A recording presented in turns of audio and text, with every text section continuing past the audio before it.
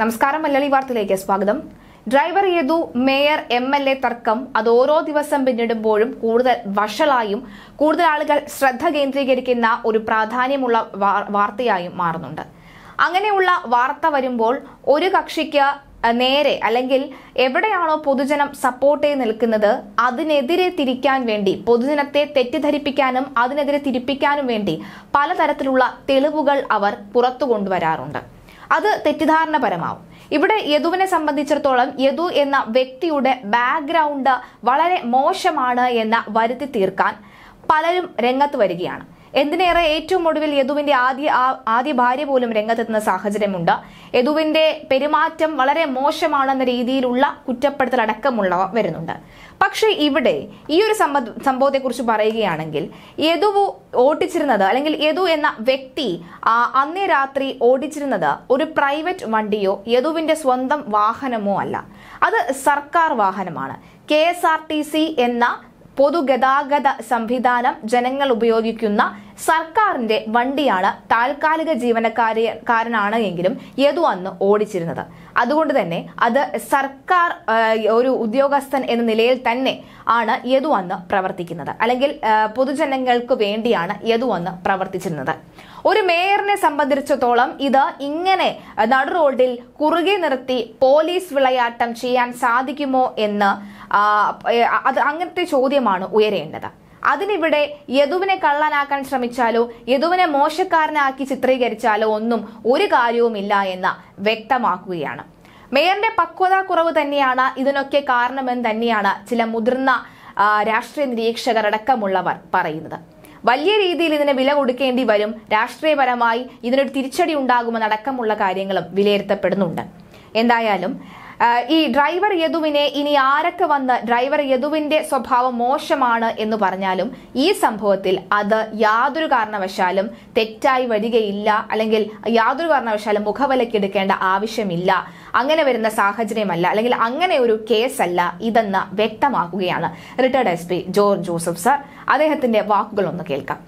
K S R T C driver സംസ്ഥാന ഗവൺമെന്റിന്റെ വാഹനം ഓടിച്ചാൽ അയാളൊരു സർക്കാർ സേവനമാണ് നടത്തുന്നത്. K S R T C driver temporary ആയാലും പെർമനന്റ് ആയാലും സർക്കാർ ജോലിയാണ് നടത്തുന്നത്. സർക്കാർ ജോലിക്ക് ഇവിടെ തടസ്സം വന്നിരിക്കുന്നു. അത് ചില വ്യക്തികളെ പോലെയുള്ള ആളുകളുമായിട്ടുള്ള ഒരു സംഘർഷം അല്ലെങ്കിൽ മേയറുമായിട്ടുള്ളൊരു സംഘർഷം. ഏത് സംഘർഷം ഉണ്ടായാലും യാത്രക്കാരുടെ സുരക്ഷിതത്വവും അവരുടെ ഡെസ്റ്റിനേഷൻ എവിടെയാണ് അവിടെ ഇറക്കേണ്ട ബാധ്യത കെ എസ് ആർ ടി സിക്കുണ്ട് ആ ഡ്രൈവർക്കുണ്ട് ആ ക്ലീനർക്കുണ്ട് അല്ലെങ്കിൽ ബസ് കണ്ടക്ടർക്കുണ്ട്. പക്ഷേ ഇവിടെ സംഭവിച്ചത് K S R T C വാഹനത്തിന്റെ മുമ്പിൽ ക്രോസായിട്ട് മേയറുടെ വാഹനം വിട്ടിരിക്കുന്ന കാഴ്ച നമ്മൾ കണ്ടു. മേയർക്ക് പോലീസ് അധികാരമൊന്നുമില്ല. മേയർ ഇവിടുത്തെ തിരുവനന്തപുരം കോർപ്പറേഷന്റെ അതിപയാണ് രാഷ്ട്രീയമായി തിരഞ്ഞെടുക്കപ്പെട്ട ഒരു വ്യക്തിയാണ്. അവർ വളരെ ചെറുപ്പത്തിലെ തന്നെ മേയറായി. വലിയ എക്സ്പീരിയൻസ് ഒന്നുമില്ല. കാരണം പ്രായം കുറഞ്ഞ കുട്ടിയാണ്. അങ്ങനെയുള്ളവർക്ക് ഇതുപോലെയുള്ള കാര്യങ്ങളിലൊക്കെ ചെന്ന് അബദ്ധത്തിൽ ചാടുന്നതാണ് കാണുന്നത്. നമുക്ക് ഒരു മേയർ പ്രായം കുറഞ്ഞ ഏറ്റവും പ്രായം കുറഞ്ഞ മേയർ എന്നൊക്കെ ഖ്യാതി പറയാമെങ്കിലും രാഷ്ട്രീയത്തിൽ പ്രവർത്തിക്കുന്നവർ തഴക്കവും പഴക്കവും ചെയ്യുന്നു പല പ്രാവശ്യം രണ്ടും മൂന്നും പ്രാവശ്യമൊക്കെ കൗൺസിലർമാരായി. ആ നാട്ടുപ്രദേശ നാട്ടിലെ പ്രശ്നങ്ങളുമായിട്ടും അല്ലെങ്കിൽ തിരുവനന്തപുരം നഗരത്തിലെ പ്രശ്നങ്ങളുമൊക്കെ ആയിട്ട് ഇടപെട്ട് നിരന്തരം വർഷങ്ങളോളം എടുത്ത ഒരു മേയറായെങ്കിൽ കാര്യങ്ങൾ മറ്റൊന്ന് മനസ്സിലാവും. അവർക്ക് എക്സ്പീരിയൻസ് ഉണ്ട്. ഒരു സർക്കാർ വാഹനം തടയാനുള്ള അധികാരം മേയർക്കുണ്ടോ ഇല്ലയോ എന്ന് നമുക്ക് മനസ്സിലാവും. അങ്ങനെയൊക്കെയുള്ള എല്ലാ കാര്യത്തിനും ഒരു അറിവുണ്ടാവും അവർക്ക്. അവർക്ക് പരിചയം ഉണ്ടാവും അത് അവരുടെ പ്രായവും അവരുടെ ജീവിത രീതിയും അവർ പ്രവർത്തിക്കുന്ന മേഖലയും അനുസരിച്ച്. ഇവിടെ ഇതൊന്നും പ്രവർത്തിക്കാത്ത ഒരു കൗൺസിലറായി ജയിച്ചു വന്നയാൾ സുപ്രഭാതത്തിൽ ഒരു മേയറാകും. ആ മേയറാകുന്നതുകൊണ്ടുള്ള ചെറുപ്പക്കാർ ആകുന്നത് നല്ലതാണ്. പക്ഷേ പഴക്കവും തഴക്കവും എക്സ്പീരിയൻസും അല്പം നിയമബോധവും ഉള്ളവരൊക്കെ തന്നെ ആയിരിക്കണം. ഇതുപോലെയുള്ള വലിയ പൊസിഷനിൽ വന്നിരിക്കുന്നത്. അവരെ അങ്ങനെയുള്ളവരെയാണ് അവിടെ ഇരുത്തേണ്ടത്. ആ കാര്യത്തിൽ അബദ്ധം പറ്റി ഇവിടെ. ഇമ്മച്ചുറായിട്ടുള്ള അല്ലെങ്കിൽ അറിവ് എക്സ്പീരിയൻസ് പ്രായോഗിക പരിജ്ഞാനം കുറഞ്ഞ ആൾക്കാർ വരുമ്പം ഇതുപോലെയുള്ള പ്രശ്നങ്ങളുണ്ടാവും. എടുത്തു ചാടി തീരുമാനം ഉണ്ടാവും. ആ ഡ്രൈവർ തെറ്റ് കാണിച്ചെങ്കിൽ ചിലപ്പം ഇതുപോലെയുള്ള പ്രവർത്തികൾ ചെയ്തെന്നും വരും. അതൊരു പക്വതയില്ലാത്തതാണ്. പോലീസിനെ വിളിച്ചു വരുത്തി അപ്പം തന്നെ ആ കാര്യത്തിലൊരു പരിഹാരം ഉണ്ടാക്കുന്നതായിരുന്നു നല്ലത്. അത് മേയർ സ്വീകരിച്ചിട്ടില്ല. ഇവിടെ സ്വയം പോലീസിന്റെ അധികാരം ഏറ്റെടുത്ത് അത് ബ്ലോക്ക് ചെയ്തു. ആ എം എൽ എ ഭർത്താവായ എം എൽ എ ബസ്സിനകത്ത് കയറി. ഇതൊക്കെ വസ്തുതകളാണ്. ചുരുക്കത്തിൽ ആ ഡ്രൈവറുടെ പ്രീവിയസ് ഹിസ്റ്ററി ഒന്നും അല്ല ഇവിടെ പ്രശ്നം. അയാളുടെ പ്രീവിയസ് ഹിസ്റ്ററി എല്ലാം എടുത്ത് ചുമന്നുകൊണ്ട് വന്ന് ആ പൊതുജന മുമ്പിൽ സാധാരണ പോലെ എന്ന് അവർ പ്രകടിപ്പിച്ച് കാണിക്കുന്നതൊക്കെ കണ്ടു. അതൊന്നുമല്ല ഇവിടെ കാര്യം. സർക്കാരിന്റെ കെ എസ് ആർ ടി സിയുടെ ഒരു വാഹനം തടയാൻ മേയർക്ക് അധികാരമുണ്ടോ? ഇല്ല. അത് തടയുന്നത് മോട്ടോർ വെഹിക്കിൾസ് ഡിപ്പാർട്ട്മെന്റുകാരോ അല്ലെന്നുണ്ടെങ്കിൽ പോലീസുമാണ്. ഡ്രൈവർ ഏതെങ്കിലും മദ്യപിച്ച് വണ്ടി ഓടിക്കുന്നെങ്കിൽ തടയാം. ഇവിടെ ഡ്രൈവർക്ക് മ്യൂസിയം പോലീസ് മെഡിക്കൽ പരിശോധന നടത്തി അയാൾ മദ്യവെച്ചിട്ടില്ല അപ്പോൾ അവിടെ പാളിപ്പോയി. അയാളൊരു ദിവസവേതനക്കാരനാണ്. പക്ഷേ സർക്കാർ വണ്ടിയാണ് ഓടിക്കുന്നത്. സർക്കാർ ജീവനക്കാരനാണ്. മുന്നൂറ്റി അൻപത്തി മൂന്ന് ഇന്ത്യൻ പീനൽ കോഡ് വകുപ്പ് അതിനകത്ത് അട്രാക്റ്റ് ചെയ്യും. രണ്ട് വർഷത്തെ തടവാണ് പറഞ്ഞിരിക്കുന്നത്. സർക്കാർ ജീവനക്കാരനെ അതിന്റെ വാഹനത്തിന്റെ മുമ്പിൽ കയറി തടയുന്നത് കുറ്റകരമാണ്. വേറെ ഏതെങ്കിലും രാഷ്ട്രീയ പാർട്ടികളോ പയ്യന്മാരോ ആരെങ്കിലും ഇതുപോലെ തടഞ്ഞാൽ അന്നേരം തന്നെ പോലീസ് പൊക്കിക്കൊണ്ടുപോകുന്ന കാണാം. മോട്ടോർ വെഹിക്കിൾസുകാർ വരുന്ന കാണാം. സർക്കാർ വാഹനത്തിന് സർക്കാർ നടപടി അഭംഗുരം തടസ്സമില്ലാതെ മുന്നോട്ട് പോയേ പറ്റുള്ളൂ. ഇവിടെ സംഭവിച്ചത് മേയർ തടഞ്ഞു. കുറ്റകരമാണ് മേയർ ചെയ്ത കാര്യം. മുന്നൂറ്റി അമ്പത്തി മൂന്ന് അട്രാക്റ്റ് ചെയ്യും. അതോടൊപ്പം മേയർ ആ വാഹനത്തിലുണ്ടായിരുന്ന മെമ്മറി കാർഡ് അത് പോലീസ് ഉദാസീന മനോഭാവം കാണിച്ചുകൊണ്ട് അത് കൺ അന്നേരെ അത് കണ്ടെടുക്കണമായിരുന്നു. ആ വാഹനത്തിലെ കെ എസ് ആർ ടി സിയിലെ പിന്നിലും മുമ്പിൽ രണ്ട് സ്ഥലത്തും അവർ ക്യാമറകൾ വെച്ചിട്ടുണ്ട്. അതിനകത്ത് മേയർ പ്രവർത്തിച്ച കാര്യങ്ങൾ റെക്കോർഡ് ചെയ്തിട്ടുണ്ട്. ഡ്രൈവർ പറഞ്ഞ കാര്യങ്ങൾ റെക്കോർഡ് ചെയ്തിട്ടുണ്ട്. വണ്ടിക്കകത്തുള്ള ആൾക്കാരുടെ ജീവനക്കാരുടെ ഉൾപ്പെടെയുള്ളവരുടെ റിയാക്ഷൻ അറിയാം യാത്രക്കാരുടെ റിയാക്ഷൻ അറിയാം. ആ വാഹനത്തിന് എം എൽ എ കയറിയിട്ടുണ്ടെങ്കിൽ അതിന്റെ ഫോട്ടോ ഉണ്ട്.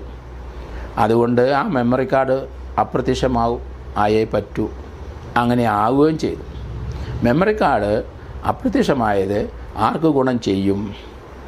അത് മേയർക്കേ ഗുണം ചെയ്യുള്ളൂ അത് എങ്ങനെ നഷ്ടപ്പെട്ടു എന്നറിയില്ല.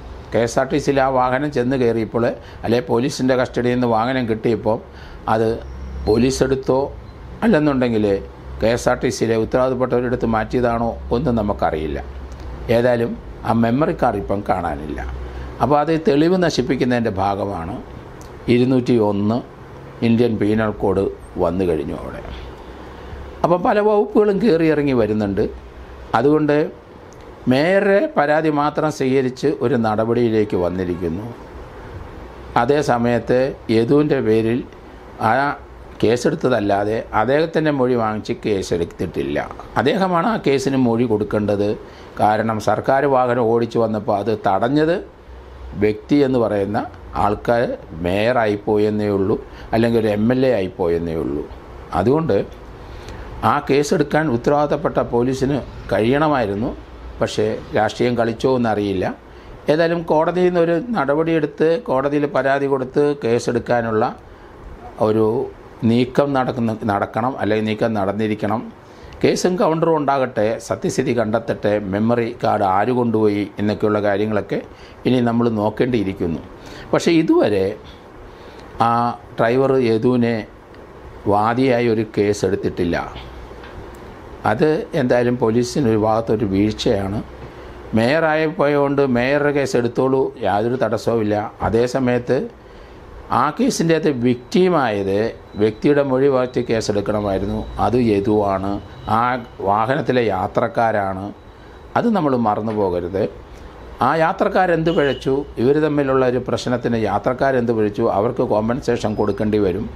അവരെ യാത്രയിൽ അവർ കൊടുത്ത ഫെയറല്ല ഞാൻ ഉദ്ദേശിക്കുന്നത്. കാരണം അവർക്ക് ഇവിടെ വേണ്ടത്ര ടൈമിൽ വന്ന് പല കാര്യങ്ങളും ചെയ്യേണ്ടതുണ്ട്. അതൊന്നും ഒന്നും നടന്നില്ല. പോലീസും മേയറും ഇതുമൊക്കെ ആയിട്ടുള്ള പ്രശ്നത്തിൽ ഇടപെട്ട് പോയി. അതുങ്ങൾ വാഹനത്തിൽ നിന്ന് ഇറങ്ങി വേറെ വാഹനം പിടിച്ച് അവർ ഉദ്ദേശിക്കുന്ന സ്ഥലത്ത് പോയി എന്നാണ് മനസ്സിലാക്കുന്നത്. പൊതുവെ നോക്കിക്കഴിയുമ്പം മേയറുടെ ഭാഗത്ത് വീഴ്ചയുണ്ടായി. അതുകൊണ്ട് യേതുവിന്റെ കേസ് കൂടി എടുക്കണം. രണ്ട് കേസും അന്വേഷിച്ചിട്ട് അതിന് യഥാർത്ഥത്തിൽ എന്താണ് സംഭവിച്ച ആരുടെ ഭാഗത്താണ് വീഴ്ചയുണ്ടായത്? മേയറിനെ ഏറ്റവും മോശമായ രീതിയിൽ ചില ഷോകൾ ചില സിഗ്നലൊക്കെ കാണിച്ചു എന്ന് പറയുന്നുണ്ട്. അങ്ങനെ കാണിച്ചിട്ടുണ്ടെങ്കിൽ അത് ആ മെമ്മറി കാർഡിന് അത് കിട്ടിയേനെ. അതുണ്ടാവില്ല. അതുകൊണ്ട് യഥാർത്ഥത്തിൽ എന്തു സംഭവിച്ചു എന്ന് അറിയാൻ പൊതുജനങ്ങൾക്ക് താല്പര്യമുണ്ട്. അത് പോലീസ് കണ്ടെത്തണം എന്നാണ് ഞാൻ കരുതുന്നത്.